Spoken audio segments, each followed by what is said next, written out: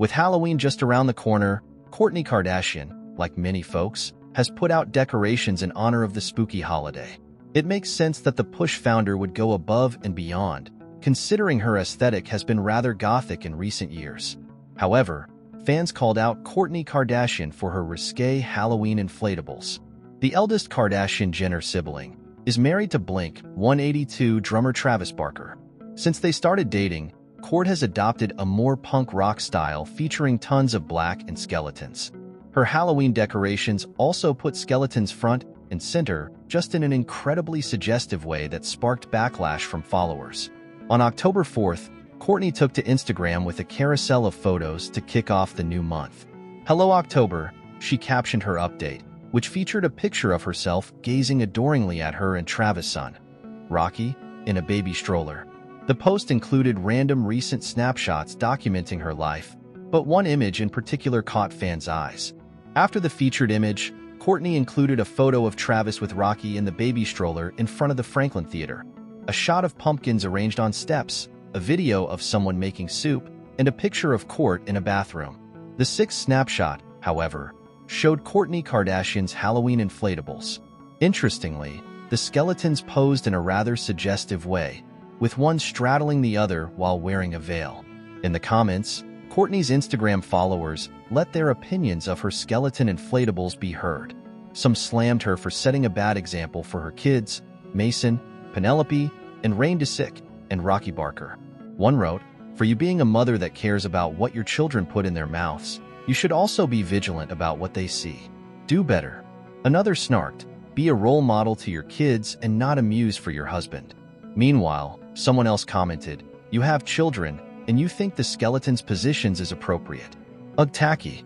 The bashing didn't stop there. Aside from the fact that Kourtney's kids would see the suggestive skeletons, fans had other complaints about her Halloween inflatables. This shows that money doesn't mean you have class one person wrote. Someone else pointed out, the amount of dollar you spent on those pumpkins would have been better served to help the hurricane victims another person echoed. Your family just pisses away money. Disgusting yard decor. While a different Instagram user simply declared, okay the inflatable is insane. In 2023, Kourtney and Travis channeled the 1989 film Beetlejuice for Halloween. Kourt was Lydia in her iconic red wedding gown, and Travis wore a striped outfit and full Beetlejuice makeup in a photo shared via Instagram. They dressed up as Chucky and the Bride of Chucky in 2022. And in 2021, Kourt and Trav's Halloween costumes were the late Sex Pistols bassist, Sid Vicious, and his wife, Nancy Spungen. They debuted a second Halloween look recreating scenes from their favorite movie, True Romance. Pete Davidson and Kim Kardashian revealed their relationship on Instagram and even made it official on the Met Gala red carpet. However, things changed, and by August 2022, they had parted ways. Until that happened, though, in one instance, Davidson and Miley Cyrus co-hosted a Miami New Year's celebration while he was still dating Kardashian. On December 10, 2021, Cyrus playfully serenaded Davidson during an appearance on The Tonight Show with Jimmy Fallon. In the aftermath of Cyrus' performance, several rumors began circulating when fans noticed that Kardashian unfollowed Cyrus on Instagram. During the performance, Cyrus walked from the stage to the sofa where Davidson was seated.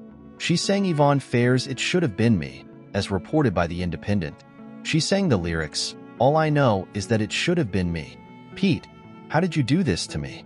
Many believed Cyrus was dissing her friend Davidson's relationship with popular reality star Kardashian, whom he was dating at the time. She also sang, in that Lamborghini leaving that nice A asterisk restaurant. I want to watch a movie in frickin' Staten Island. Here, she appeared to be referring to Davidson's outings with Kardashian, as reported by Stylecaster. The exact reason Kardashian unfollowed the singer remains a mystery, but fans believed it had something to do with Cyrus's playful flirting with Kardashian's then-boyfriend. At first, Kardashian didn't seem to have a problem as she even liked one of Cyrus's Instagram posts promoting her New Year's Eve special after the duo's appearance. However, later it seemed that the only official thing Kardashian likely wanted was Davidson's commitment to her. In November 2021, a source had already confirmed that Kardashian and Davidson were dating, claiming that both of them were very happy and wanted to see where it went. The insider said, Pete has told her he doesn't want to see anyone else. Kim is telling some people they aren't super serious, but she isn't seeing anyone else. She's trying to not make a big deal about it, but is super into him. Moreover, in season one of The Kardashians, Kardashian praised the Good Morning actor, calling him an amazing person. She said, Pete has got to be literally the best human being I have ever met. Like, the best heart. She added, he always wants the best for people. He can handle anything, and he always does it with grace. After news of her relationship with Davidson became public, Kardashian also filed to be legally single after her marriage to Kanye West ended. Later in 2022, Kardashian explained about her separation from the former Saturday Night Live star and acknowledged that breakups aren't her style. As reported by Entertainment Tonight, she said, We just had talks and talks, we've been talking about it. So it's just like both of us just communicating really well about it. It's obviously sad when you. Nine months. It's like a long time. I don't have random hookups and relationships.